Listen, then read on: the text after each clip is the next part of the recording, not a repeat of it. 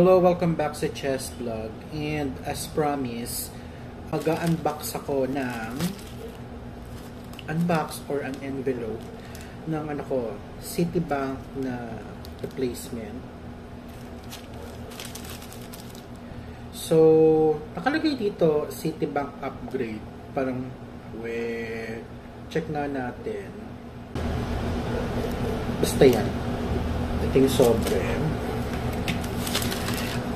Siyempre, i-hide ko yung mga important details because like yung card ko, ayoko ipakita for security purposes, ha?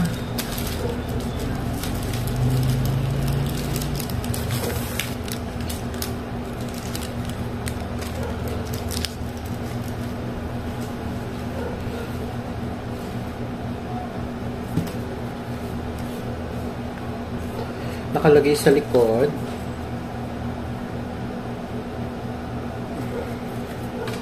The card is not active. To activate, please read and follow the advisory on the card. Siyempre, security, ano rin yan, feature na hindi pwedeng pwedeng magamit agad yung credit card basta-basta kasi nga baka kung sino na makakuha niya gamitin agad yung card mo hindi pa nakakarating sa'yo so Same pa din yung principal uh, credit limit, same pa din yung advance credit limit. Ayoko nang humingi ng ano, increase. Pero yung pinaka bahala sila. Yung isang card ko naman is enough na for bigger purchases. Or yung may security bank is good enough for like big purchases. Pwede na yun nandito na, nandito sa papel ito nakalagay yung ano ko. Yung credit card ko. Pero syempre ayoko nang ipakita yung card ko. Because security chore ba yun? At napansin ko sa mga bagong ano sa bago nilang credit card wala ning credit card number sa mismong card. Pull out ko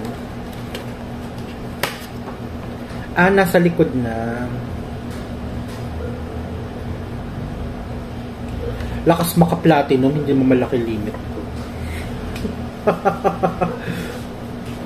Buti pa yung sa security bank ko na platinum. Yun yung totoong platinum.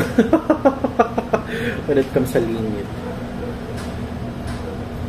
So yun, nakalagay dito instructions. So how how to activate your City Mobile. Actually, nasa mobile, nasa ano na yon nasa app din yun. And sabi dito, if your replacement card has a new card number, re-enroll auto-debit uh, transactions that you have directly arranged with merchants. So, yun na lang din yung masasabi ko na kung yung luma mong credit card naka-enroll, for example, sa mga ano, sa insurance mo, sa ano mo, naka-auto debit, it needs to be re-enrolled. Kasi nga, bagong number na yung ano, bagong number na yung bagong credit card mo. So, para walang aberya. Meron ditong ano, pamphlet for city card fees and charges.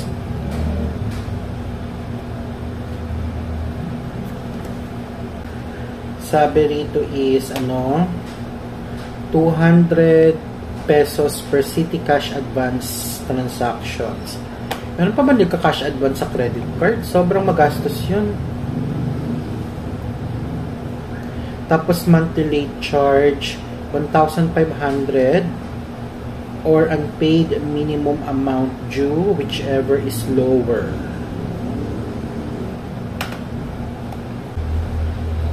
O to para sa mga nag-abroad. All charges made in foreign currencies, whether online, overseas, or local transaction, will be automatically converted to Philippine peso on the posting dates at the prevailing exchange rate determined by the MasterCard slash Visa.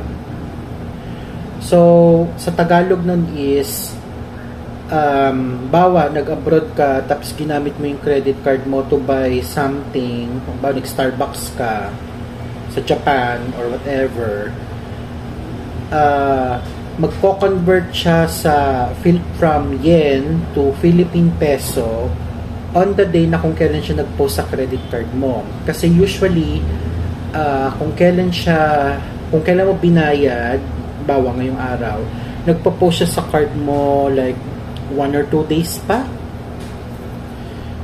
Pasensya na sa ano ko dito sa likod. Naka, nakatulog ako kanina. Nako-conscious ako.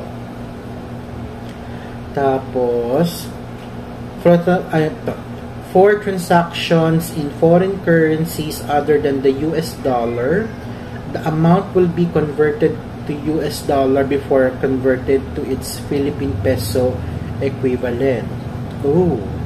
So kung kung hindi pala siya dolyar, foreign currency to dollar muna, tapos peso. Okay. Hindi ko lang natutunan yon. A fee up to 3.525% will be imposed on the converted amount which represents our service fee and assessment fees charged by MasterCard slash Visa. Ooh!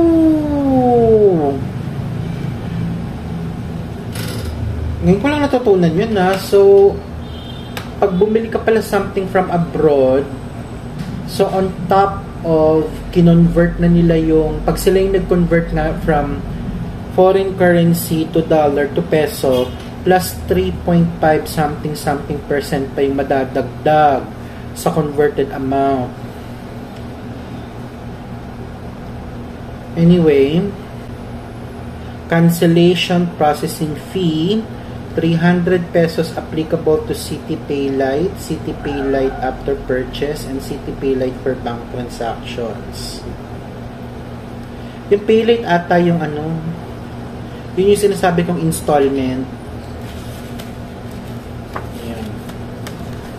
So, ito pa may isa pang ano.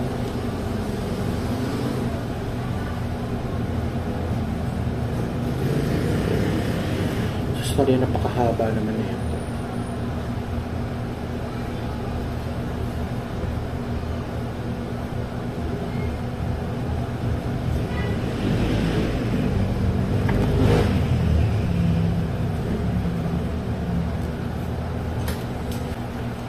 Deadman na to masyado ng ano, masyadong mahaba. Basahin mo lang pag may time ka once you have your own Citibank credit card. So, as far as uh, kung paano mag-apply sa Citibank credit card or sa loan, I have a previous video about it. And it's been a very long time since I created a video like this. So again, thank you for watching.